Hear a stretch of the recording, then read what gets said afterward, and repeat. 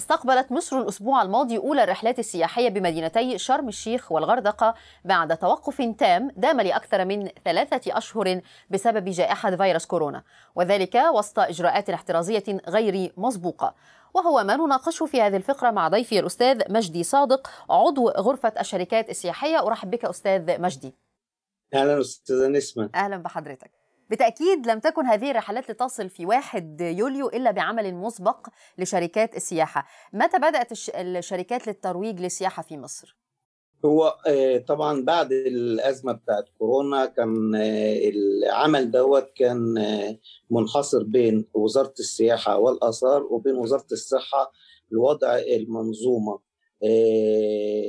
الصحية لاستقبال السائحين في مصر وبدأت من 1 6 إلى 15 6 منظومة صحية معينة وبعد كده من 15 6 ل 30 6 1 7 بدأ استقبال الأجانب بعد فتح المجال الجوي. لأن المنتجعات المصرية اللي هي شرم الشيخ والغردقة ومرسى علم المناطق دي كلها مناطق بحر فدي مناطق صحية. ومصر كجو ربنا حباها ليه؟ مصر من الدول المنصوح بها لأمراض كتير جدا لبعض الأمراض الصدرية والأمراض الجلدية لدرجة إن كان زمان أغنياء العالم كانوا يجي يعيشوا في الأقصر ويعيشوا في أسوان زي اللورد كارنارفون اللي مول اكتشاف مقبرة توت عنخ آمون لأن كان منصوح له بالجو بتاع مصر. أولى الرحلات كانت رحلات الطيران كانت لشرم الشيخ والغردقة كانت من أوكرانيا. لماذا تحديدا أوكرانيا؟ هو في طبعا اتفاق بين الوكيل السياحي بتاعها في مصر وكيل من كبار الوكلاء وكان بدأوا التحضير مع بداية فتح المجال الجوي يبدأوا العمل يعني. فبمجرد بدأ فتح المجال الجوي هم بدأوا العمل على طول لأن هم كانوا جاهزين بالشهادة الصحية اللي حصلوا عليها من وزارة السياحة والآثار ووزارة الصحة بالتباعد الاجتماعي وبالنظم الصحية الصارمة المحددة والمجسات الحرارية في كل مكان ودور كامل معمول في كل فندق عشان العزل بتاع لو أي حد أصيب بكورونا. بجانب إن في بعض الحوافز اصدرتها وزارة السياحة المصرية الحوافز اللي هي طبعا ما فيش تأشيرة لجميع الدول العالم في الوصول من من دلوقتي لحد 31 أكتوبر خفضوا أسعار الوقود. في نفس الوقت في حوافز كتير جدا اتقدمت عشان الجذب السياحي وعودة السياحة طب إلى طبيعتها بمناسبة إن حضرتك ف... اتكلمت على الحوافز وأنا قرأتها كتيرة يعني بنود كتيرة جدا وأنا بقرأها حقيقه قلت طب مدى تأثير هذه البنود على المكسب المادي؟ في هذا التوقيت. يعني اوريدي بالقطع قطاع السياحة خسران خسارة شديدة جدا هذا العام تاثرا بفيروس كورونا. مع هذه الإجراءات كمان اللي اتخذتها الحكومة أو ال ال ال الإرش ال الإجراءات الإلزامية إنجاز التعبير أو الحوافز كمان. القطاع أعتقد بيخسر مش بيكسب من جراء فتح الطيران أو فتح شركات السياحة أو استقبال السياح في هذه الفترة. والله أنا كنت ناديت بمبادرة والحمد لله بدأت تنفذها اللي هي مبادرة مصر في قلوبنا دلوقتي الناس عايزة تبتدي ترجع تاني الشغل. ومش مشكلة المكسب المكسب جاي جاي يعني. بس نبتدي نرجع الشغل لأن أنت عندك الحوافز مهمة جدا عشان تجذبي السائح إنه يتحرك ويجي لك بعد الفترة اللي هو كان موجود فيها وبرضه كان محصور جوه بيته وكان عنده restriction عالية جدا جوه بلده. أبرز الدول اللي بدا الترويج ليها في للسياحة كانت إيه؟ غير أوكرانيا وسويسرا الرحلات اللي بدأت تأتي إلى مصر. إيه الدول الثانية إحنا بنبتدي نسوق في كل الدول يعني على مستوى شركات السياحة لأن أنت تعلم إن في بعض رجال الاعمال ورجال السياحة المصريين يملكوا شركات سياحة في الخارج فعن طريق الشركات اللي بيملكوها ديت بدا ترويج. ولكن في دول معينة قالت مصر بالنسبة للسياحة مفروض عشان يبعتوا سياحهم مثلا زي ألمانيا من 31 أغسطس. فسابوا شهر أبريل وشهر أغسطس كله كفترة لحد لما ياخدوا قرار بعودة السياحة الألمانية السياحة الإنجليزية. فإنما إحنا بنسوق في الدنيا كلها. وإحنا اتعلمنا كمان ان السياحة هي منظومة متكاملة. فتعلمنا من الأزمة اللي إحنا كنا مرينا بيها بتاعة الثورة وبعد كده الحصار السياحي بالأسواق الجديدة. فاحنا حتى بنسوق في أسواق جديدة أسواق جنوب شرق آسيا.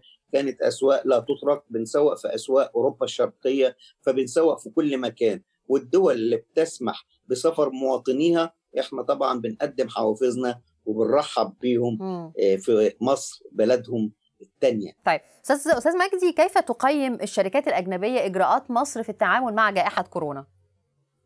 هو تقييم الشركات بيبقى تقييم راجع لوزارات السياحة الخاصة بيهم ما بيبقاش تقييم شركة خاصة لأن أنا دلوقتي مثلا يعني دولة زي الشقيقة الكويت الشقيقة الكويت لسه ما فتحتش المجال الطيران الجوي بين مصر وبين الكويت فلما الدولة كدولة تتخذ قرار يبدأ مع في كويتيين كتير جدا وعرب كتير جدا من دول الخليج وكمان من دول العالم المختلفة عايزين يجوا مصر ولكن بيستنوا هذا الإجراء من دولهم والإجراء لا يتبع شركات السياحة الإجراء بيتبع الدولة كدولة لأن ده قرار دولة وقرار حكومة م. بالنسبة للإجراءات والنظم الصحية المتخذة إحنا في مصر عندنا نظم صحية متخذة ومرينا بتجارب عظيمة جدا زي التجارب بتاعة العودة العالقين اللي جم وقعدوا في مرسى علم وقعدوا في فنادق والحمد لله ما ظهرتش عليهم أي حالات والحمد لله مصر من الدول المصنفة طبعا في في المنطقة اللي هي الكويسة يعني مش مش في منطقة طيب. موبوءه ولا خطر زي بالنسبة لشركات يعني. السياحة فالحمد لله هذا التصنيف يعني إيه التحديات اللي بتواجهها شركات السياحة في الفترة الحالية؟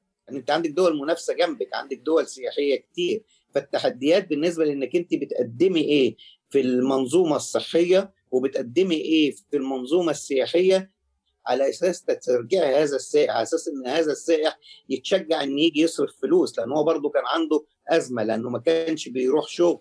فبناء عليه إحنا التحديات إن إحنا إزاي نثبت لهذا السائح إن البلد هنا في مصر يعني مستعدة لاستقبالك وإنك أنت هتأدي أجازة سعيدة وأي حدث هيحصل معاك إحنا مستعدين له تمام الاستعداد طيب لدرجة إن إحنا من خلال متابعتك من الحوافز لو سمحتي من ضمن الحوافز قلنا لو أصابك كورونا في مصر هنعالجك تماما على حساب الحكومة ده حقيقي يا فندم موجود من غير ما نكلفك جنيه. بالظبط. أستاذ مجدي أخيرا كان في ظاهرة ملفتة للنظر جدا في أول يوم لاستقبال السائحين.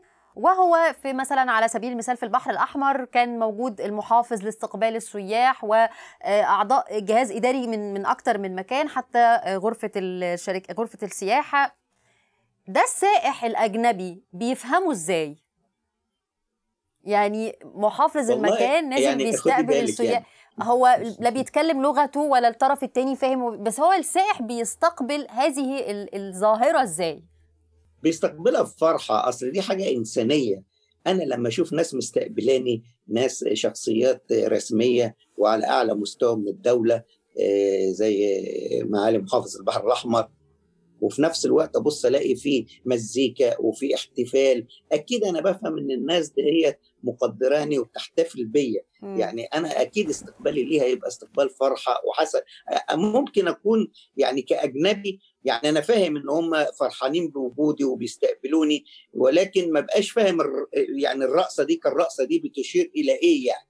ولكن في الأول وفي الآخر هو بيبقى سعيد جدا وبيبقى باين على وشه الابتسامة وباين إن هو شايف إن هو مرحب بيه وشايف إن الناس كلها سعيدة بوصوله يعني. ودي بتدي أثر طيب في نفسه ويقدر يتكلم عنها وأول تليفون هيعمله لبلده هيقول لهم إن أنا استقبلت بمزيكا واستقبلت استقبال رسمي من غير ما أنتظر ده يعني. أنا بشكرك جدا. بهذا الاستقبال الجميل من مصر. أستاذ مجدي صادق عضو غرفة الشركات السياحية شكرا جزيلا للمشاركة.